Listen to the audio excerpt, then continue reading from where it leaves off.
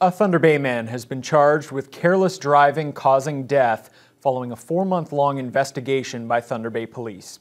On the night of September 24th, city police officers, along with Superior North EMS and Thunder Bay Fire Rescue, responded to a major two vehicle collision on Red River Road near Hill Street. It involved a sedan and a Jeep.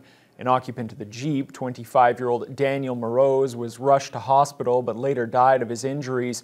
The driver of the sedan, John Larry Biancaspino, is now facing charges. The Thunder Bay Police Traffic Unit initiated an investigation uh, which recently concluded.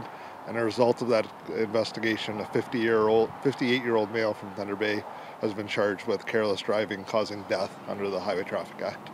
We treat all uh, fatal motor vehicle collisions uh, as criminal investigations until they can be proved otherwise. Uh, so there are extensive investigations uh, within our team uh, that take some time.